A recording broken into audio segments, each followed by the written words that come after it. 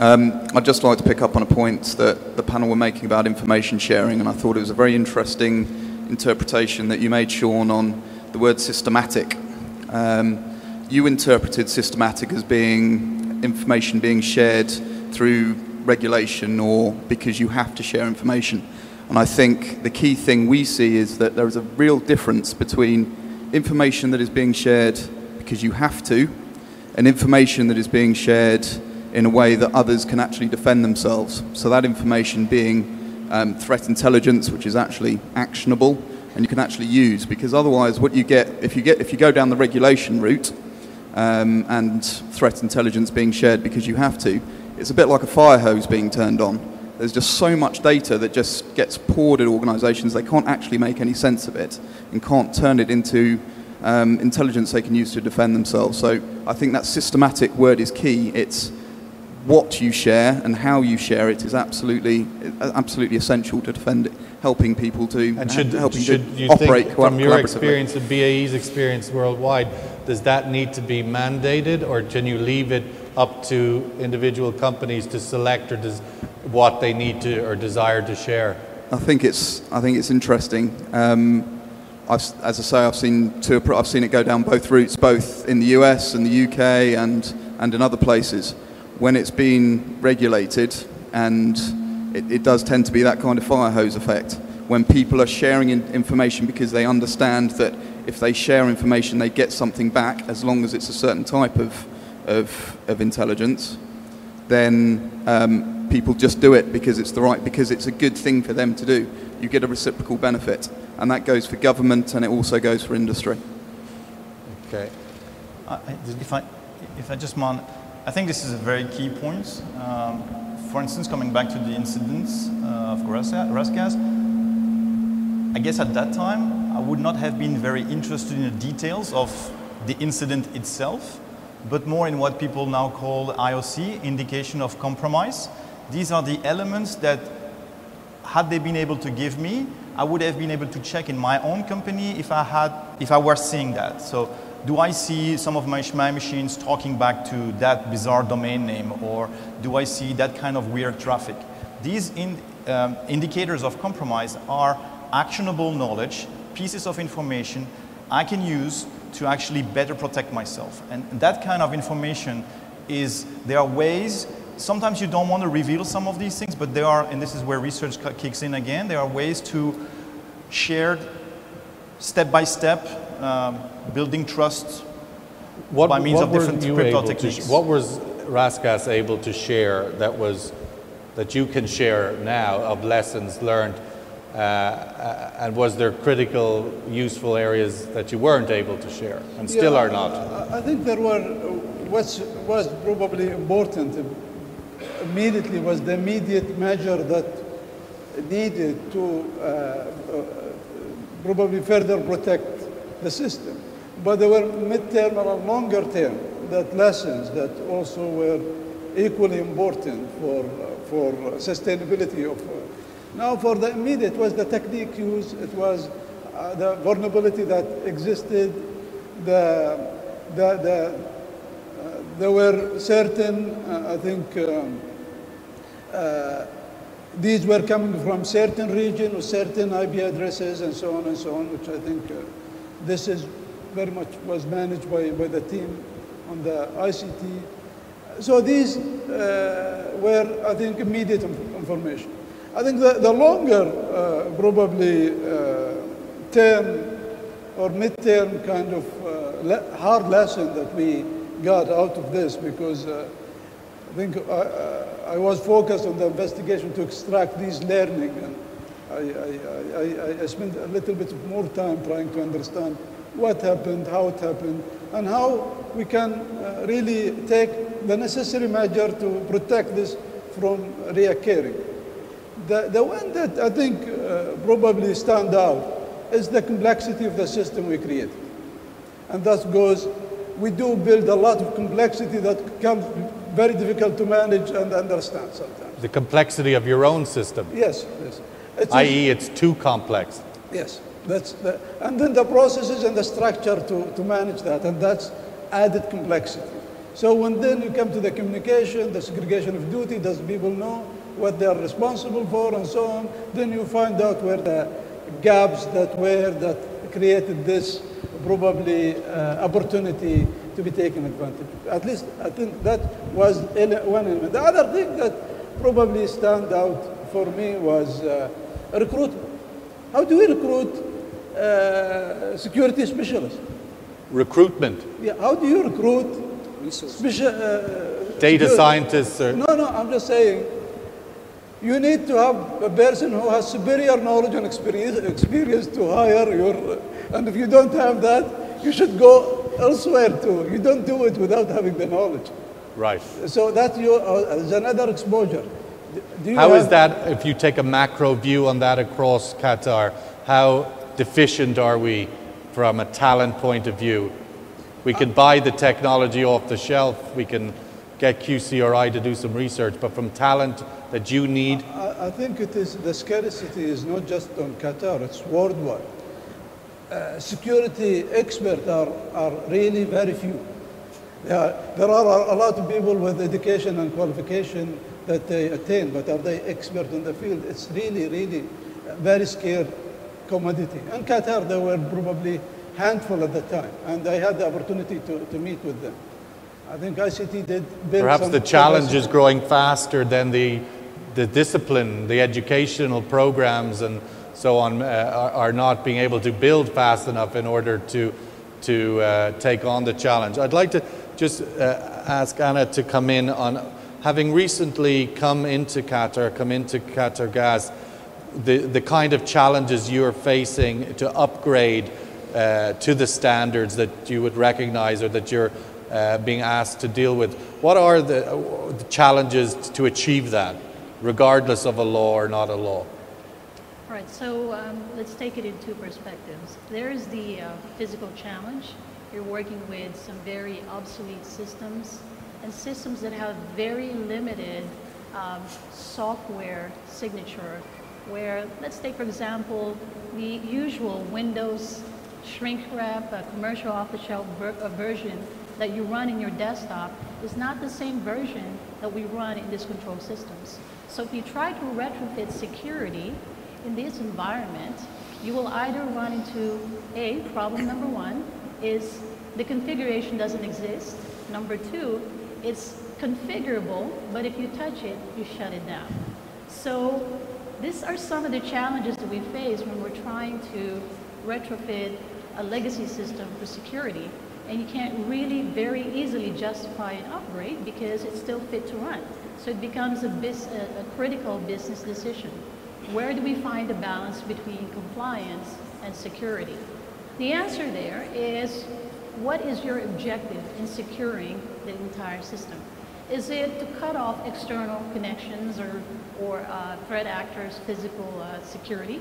Then we can do that other ways. So there's always alternative compensating controls that you can apply. And short of that, you have to then look at the risk, right? The, the, the, does the design of your controls, is that commensurate with the risk of exposure to your control systems? Let's bring up the next survey question, but it commensurate with your risk. How do you know what your risk is, what your target is, if that risk is growing all the time? We 66% increase in last year. The, the, the nature of the cyber disruption is changing all the time. Right, so that is a fair question. But, but here's the typical risk that you would encounter in an industrial control system environment, which is more of a process operations speak. Uh, most of this control system environment, the biggest risk is lose, loss of control. When we say loss, Loss of control of the right, operations. Of the operations, which means you have significant financial, operational, environmental uh, impact, right, instantaneously. So if you try to quantify that loss, it will then lead you to one and one and only answer. Loss of production equals financial risk. Now the answer of we have other um, factors that impact that risk, such as if you're open to the internet, if you have external mode connections, if you're running without antivirus because it's not compatible with your system, you equally have the risk of being infected. Right? So the only way you can tie that risk is to use the same matrix of what, what is my risk in terms of quantifying it in uh, safety, health, environmental, and operational.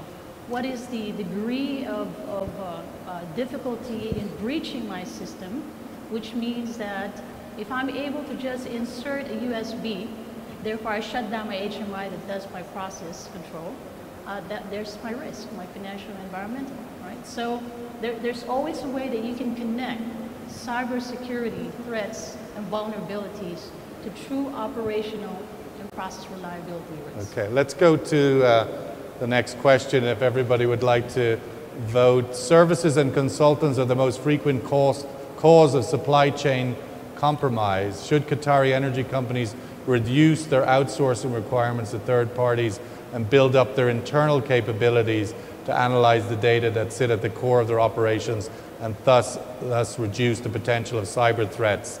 So 10 seconds, basically build up national capacity, company capacity, yes versus no, or is outsourcing just more viable, access to much greater competence?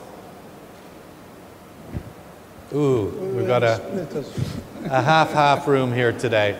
Uh, what's your own view on that, Mr. Kaabi? I, I don't think we should be uh, overreacting, actually. I think uh, you should always look at expertise, uh, and you would think that there are sufficient contractual and uh, information uh, security to, to, to take care of that. If we start doubting, uh, really, even the vendors, to, I think it's, it's going to go beyond just this. So, uh, But surely, should we not be looking to build, let's say, the capacity of the likes of QCRI uh, uh, to ensure that they are yeah, offering the service? I, I think, I think, in my view, we should build the capacity, but I think they will, should be showing their capabilities to others to convince them that they can do as good as a job or even better. But I think if we say shut down, go there, I don't think this is a good business model. Okay, Your Excellency? I, I answered no. No? Yeah. The reason is I agree also with Muhammad because we need to have a balanced system. We need to build capacity and we need to control the supply chain. You can control the supply chain. Yes, there were, in the past, there were a couple of disruptions that were in public domain because the source was the supply chain. However, you know, you have, we, we as a government, the industry, we invented measures to control the risk coming from the supply chain. So there should be a balanced system to maintain both. And I think in the industry finance, you know, it's very challenging, it's evolving. You will always be dependent on international resources. So you cannot stop it. And you cannot overreact. So I think we should be very pragmatic. Um, so this will not happen. So let's be pragmatic in the first Okay, place. it won't And- happen, but the but- point nonetheless is, again, how do you build up national capacity if you constantly outsource? But you were mentioning QCRI. So QCRI is not there to replace in any way services and consultant, right? Among the, you know, if you have that many problems today with respect to cybersecurity in SCADA system, ICS, probably up to here you can solve with existing pro- uh, products, services, consultant, and so on. QCRI is looking at the ones that have no solutions, where we really need to develop the technology, the research to, to address those ones, because maybe they are the most important ones in the future. And let's face reality, this is the elephant in the room. The problem is gonna be worse and worse, because you said you have to deal with old legacy system, but I encourage all the people here in the room to look at the roadmap of their uh, providers, manufacturers, uh, vendors, and so on, the big word is big data, right? Big data analytics. Everybody nowadays wants to come with a new product, a new element, something that needs to connect back. And it needs to do that to send data because they will help you, they will do the analysis, and this will lead to more efficiency. More efficiency means more money, so you want that, right? So the poor IT guy, the poor security guy will say, no, no, no, I, I don't want this. And somebody else, somewhere in the company will say, I want this because, you know, this brings money, this brings revenues. And this is going to be more complicated, more and more and more. And um, I think we should definitely recognize that. Again, any questions in the audience? Uh, Please, Dr. Derham in the front row. As we may wait for the, um, for the uh, microphone, uh, Mr. Zumla, what's your view on that? Sure. So I'd just like to follow on from what Marc was mentioning. This is actually an unrealistic kind of scenario. There's definitely a symbiotic relationship between the organization and the automation contractor. You can't divorce that relationship. Um, so it's very much about um, trusting the likes of Honeywell, Yaskawa, ABB, but at the same time, equipping the individuals within the organization to have that risk-based approach and asking the right questions in order to verify what the actual current state is. Well, let's put the question another way. Is enough, we know that the, the, the, the consultant support globally as well as regionally is available.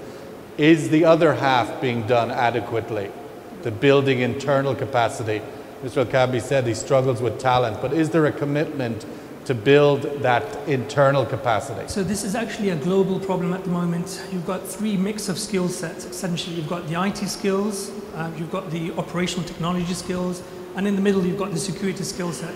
So traditionally, what's been happening is that of the last decade or so, as the archaic systems within the OT environment are becoming more updated, becoming more in terms of having networks and IP protocol, the, the likes of lead instrument engineers have to then upskill their, their knowledge of general networks. But since the advent of Stuxnet, they now have to become more savvy with security. And with the likes of national standards coming along, they now need to have OT knowledge, IT knowledge, and security knowledge. So it's, it's a massive problem that needs massive. to be addressed.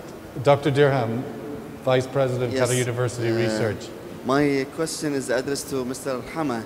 Uh, based on the uh, cyber attack that occurred in 2012 for RasGas, how would uh, this had uh, reflected on your uh, stakeholders, mainly your clients? you know, supplying them on time, on target. have, have you faced any you know, credibility issues? And how did your partners, such as ExxonMobil or others, supported RasGas in addressing this challenge. My second question is how to turn this challenge into an opportunity, okay? By, for example, uh, uh, aligning with uh, QCert, uh, Qatar ICT, maybe the Kindi, uh, Kiri, uh, QBRI, all of these, you know, uh, linking industry with academia to address and have intensive research or study so that we can have you know lessons learned out of this and so that we can convert this into a better opportunity for us in the future. Well, thank you, Doctor, for the question. Credibility. Yeah, I, must say that uh, in RasGas we are well trained to deal with uh, big incidents. So every year we at least have two scenarios of something happening in the plant, a ship, something happening to. So we were well trained for incident, but we were not trained at all for a cyber attack. What we did, we did handle it the same way we, we deal with this incident. And I must say, they are completely two different things. We did manage our customer, I think, well. I think we were immediately notifying our customer of what's happening to assure them of everything that is going well, that the, their delivery will be on time, and they shouldn't be worried. We did manage the communication well with our uh, stakeholders, with the, with the media, and everybody else. It did take us some time. Really, it was a big shock for us. So it did take some time to, to uh, the, the, the, challenges, and I will come back to your research question, but the challenge I, I, I faced actually, and I think uh, Hamad is here, uh, which uh, I think worked with me as an IT manager at the time. Uh, how do you recover your system while you're investigating them to understand what's happening at the same time? So how do you keep this team motivated? They were working around the clock. And yet you want to ask them the hard question, trying to find out what's happening. So that's something I think is, is, is I hope nobody goes through that way. You need to, to do that.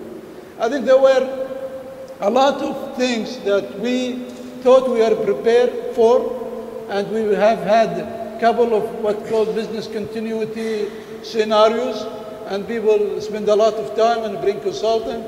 When it's come to really activating that on a real, real life scenarios, we faced a lot of challenges. A lot of our documents were in the system, and the system was, was gone. Why? the, the, printout that we had was outdated. So we, we wanted a fresh out. Uh, back. So there were a lot of hard experiences, I must say. And there were, I must say that the company came much stronger. I think we, we, we learned a lot and we uh, learned cross, not just with this specific incident, but all other systems were also uh, validated and checked to ensure that we did have uh, uh, a lot of significant improvement to this system to, to bring them to really to be able to face such a challenge in the future. With regard to the to the to the Opportunities question, and yes, research. the- I think there is great opportunity. The, the, I think our uh, working with our uh, QCERT and ICT, I think was, to me, it was because I, I, I interfaced with, with them. I think their support during this time, we couldn't do without. I think if we didn't have that capability with ICT, QCERT capability on the forensic side, especially, we would struggle I just to address the, the, the challenge with resources. Yeah. The two qualified vendor who could do deal with this uh, incidents at the time, there was Rasgas and Aramco, and they were spread thin to support both of us. And they had to subcontract to bring people from all different, and they were not really well connected to their system or their processes. So that just tell you that even even the vendor who's supposed to be specialized, if there are multiple attacks in the region, you will not find the support you expect to get, even if you are ready to pay more money. Yeah. So that's, but in the research, I think there are opportunities for research. I just gave one example, the complexity. We are building very complex systems, and we are building on top of it very complex process and structures. And we think we're hiring smart people that they know what's going on. You only discover how much they know when you have incidents. it, is, it is really, there is a false sense of security. And I'll tell you, most IT manager, and I was one of them, will bring you a chart with KPI telling you you're, you're okay. Everything is green. I'm monitoring, everything is green. It's green for one week because there is more political tension and you can see it on the TV and they're not updating their KPI. There are more people, qualified IT people on the street. There is no employment rate is going up and around you and you can see that. And they they are telling you that you're, you're green. Let's go to the last question and also wrap up comments from the panel. So if we might just uh, take this question and then take your final thoughts. On which of the following should Qatar prioritize to improve security for the domestic energy sector? A. Data gathering and information sharing. B. Develop domestic security expertise and hacking culture. C. Educate workers and the general public about cybersecurity threats. And D. Define responsibilities of stakeholders. I removed E, which was inevitably all of the above, uh, because I, I, I- right answer, yes. I, I want a, sense of what is the most pressing priority, uh, and for everybody to sort of make a judgment on that, uh, of which is really the number one for you, rather than all of the above. But what is your number one uh, on this list? 10 seconds, please. And if we could get each of the panelists to comment on their answer to this as to what their number one was or is. Okay, so C, educate workers and the general public about cybersecurity threats, 45%, uh, which seems a bit of a, I'd be surprised by that answer. I would think maybe more of the granular tactical side would be important, but um, 33 at develop domestic security expertise and hacking culture. So, Undersecretary, how did you vote and your closing comments, please? I selected B, B. and uh, I think C and B are probably, uh, you know, it's, it's one combined answer because uh, I hear my friend Hamad because we worked together with him in 2012. Uh, the team that worked with Hamad, they're here. I would need to acknowledge them also. In the panel over here. They had a session after this one. Um, Something mentioned earlier about the institutions we have in Doha, and Doha is blessed. And I think, yes, Doha is blessed because we have the institutions. Now, the institution or the education academic institution has an obligation to produce B plus. Know, and uh, hopefully after this date, 28 April, you know, we will see a change in the curriculums of institutions. If it's Texas A&M, if it's QU, if it's Carnegie Mellon, to focus on number B, because there is a demand in the market, and you can hear from Mr. Hamad, there is a high demand in the market. I need a successor. We don't have successors in positions. That's another issue. And the only way I can resolve this issue is by mass coming from academic institutions. Aligning industry's needs with academics courses. Ana, your, your vote and, and, and closing thoughts? Uh, my vote was also for B, B? develop domestic security expertise in hacking culture. So in terms of priority, let, us take a look at the, um, the uh, economy of Qatar. 70% uh, of the um, uh, revenue is coming from petroleum and LNG uh, industry. And as we already know, there have been two incidents of um, um, cyber incidents or intrusion here in Qatar itself. So uh, not only are the threats real and here and now, we know that in the future with, with um, increased cyber campaigns targeted towards Middle East, this is now going to be the battleground. So we do, need to do, do you think, given that vulnerability at the moment with the legacy challenge that you face, that there is an operational vulnerability, not just like Rasgas had a, a corporate administrative one, but actual operational. Does that concern you, the vulnerability of that? Absolutely. There are some intrusion detection and monitoring tools that IT can deploy that we will never ever be able to deploy in our environment. So at this point, we are running blind. The best we can do is secure a perimeter, put it in the border, but the technology to actually do intrusion detection down at the level of the very uh, machines that drive our process today is not available. Mr. Muller, you, you, your uh, vote and... So my vote was C. Um, C. And um, I should say that uh, I think I have a somewhat unique perspective because I've had a chance to also do a similar kind of survey across the 32 organizations at the Cybersecurity Partnership Forum. I've also had an opportunity to engage with various ministries when it came to developing the national cybersecurity strategy. And it's, it's my opinion that pretty much the technology is pretty much there in place, but it's the age-old problem that people seem to think that cybersecurity is just an IT problem. And that's pretty much the mindset here that needs to really be broken. I think the Ministry of Interior think it's more than an IT problem uh, with their engagement on the challenge. Dr. Marc, your vote and how you, uh, closing thoughts?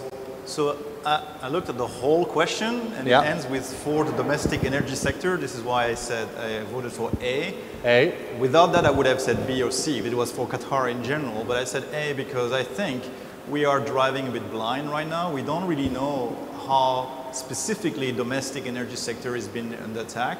And we need that information in order to, to come with better uh, defenses. But, and, and I'd like to follow on what has been said earlier about education. I think it's, it is very important. It has to be done so to, to create more educated people uh, in Qatar. We definitely have a big problem of, in terms of talents. You know, you have talked about hiring talents. It is not just Qatar, it's everywhere in the world. Last week, someone told me about a project between France and Germany to create a, a research lab for cybersecurity of 200 people. I mean, and this is just one example. Luxembourg is doing the same, Singapore, the, in the US, I'm not, even, I mean, it's everywhere. So it's a future, and, and let's be honest, when people in cybersecurity do not necessarily look at this region as the place to go to work, right? They don't think of it naturally. So I think we can turn that into an opportunity because here we, those people who work in cybersecurity, they like to see applied research. They like to see their work being used. And there is a big disjunct in the rest of the world between academia and industry. It's very hard for them to see their stuff being used. They try in different way, open source and so on and so forth. I think here in Qatar, we have educated partners in industry. We have an ecosystem with QSTP, with QNRF, with different kinds of, and QCRI, of course, where we could make this place, if we were, you know, aligning this thing, this thing properly, we could make this place the great place for those people to come, for It could become to a be center of excellence, Yes, definitely. given the, the opportunity. There is, there is definitely a big opportunity to bring here the people who, who like to do this kind of work and improve the overall security of Qatar. Well, I think it's an appropriate place to sort of conclude in the context of celebrating or seeking new talent and young talent, and where we started the morning with celebrating the four uh, award winners and recognizing their contribution to the expansion of postgraduate education and